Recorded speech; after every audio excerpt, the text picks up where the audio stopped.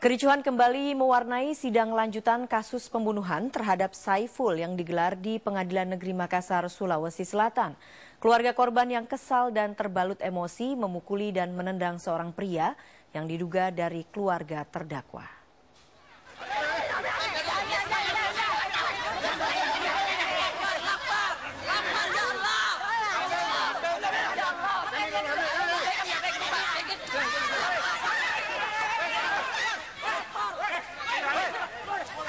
Puluhan keluarga korban Syaiful terus menghajar pria yang diduga keluarga terdakwa. Pria tersebut tidak berdaya apalagi banyaknya pukulan dan tendangan yang diterimanya.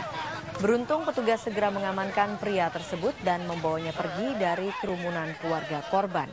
Pemukulan itu bermula lantaran pria tersebut dianggap mata-mata dari pihak keluarga, bahkan sempat mengambil gambar. Keluarga korban yang curiga kemudian mendatanginya dan langsung mengejar. Tidak hanya itu, keluarga korban juga sempat mengamuk dan meminta agar terdakwa Dayeng Siki dihukum seumur hidup. Kericuhan ini terjadi di luar sidang saat sidang dengan agenda pembacaan tuntutan terhadap terdakwa selesai dibacakan oleh jaksa penuntut umum dan majelis hakim menutup sidang.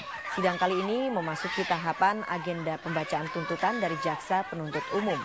Terdakwa Dayeng Siki dituntut 17 tahun penjara.